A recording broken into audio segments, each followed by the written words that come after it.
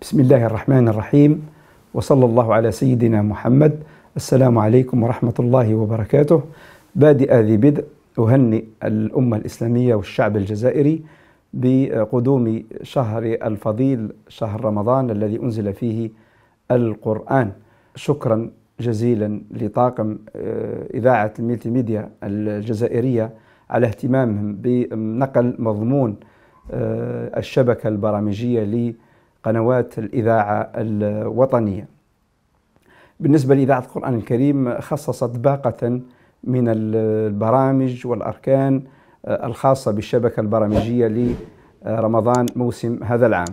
نذكر منها على سبيل الذكر لا الحصر برنامج مجالس رمضان الذي يبث بشكل يومي من الساعة الخامسة إلى الساعة السادسة مساء. يعالج هذا البرنامج مواضيع ذات صلة بالدين والواقع. أيضا نسهم فيه المواطن المستمع الكريم لإثراء النقاش. برنامج ليلي أيضا يبدأ من الساعة العاشرة ونصف ليلا إلى الساعة منتصف الليل.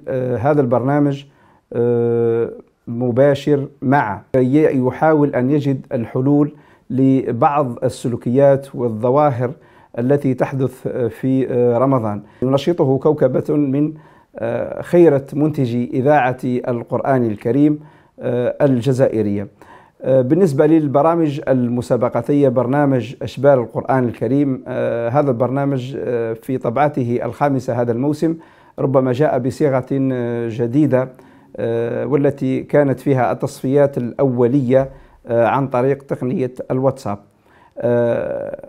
كان فيه لجنة التحكيم الموقرة اختارت عددا من فئة من فئتين. الفئة الأولى أقل من 18 سنة مع حفظ القرآن الكامل كاملا والفئة الثانية 12 أقل من 12 سنة مع حفظ نصف القرآن الكريم. سيتبارون خلال الأيام الشهر الفضيل وتتوج بفائزين بالمراتب الأولى والثانية والثالثة مع مرتبة رابعة تشجيعية في كل فئة. ستنتظر هذه هؤلاء الفائزين. سينتظرهم جوائز قيمة بالتأكيد تشجيعا لهم ودعوة لغيرهم لحفظ كتاب الله والاعتناء به.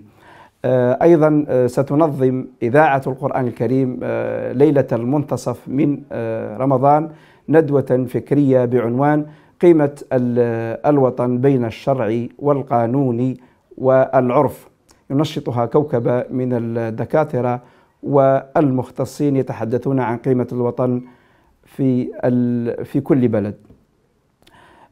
إذا كل هذه البرامج التي تقدمها إذاعة القرآن الكريم هي تحاول أن تعطي أو تحاول أن تسهم في رفع منسوب الوعي الجماعي لأفراد الأمة الجزائرية المتشبثون بقيم الدين الإسلامي السمح ومحاولة إظهار قيمته وسماحته عن طريق هذه البرامج والأركان طبعا في الشهر الفضيل وطيلة أيام السنة. وشكرا لكم.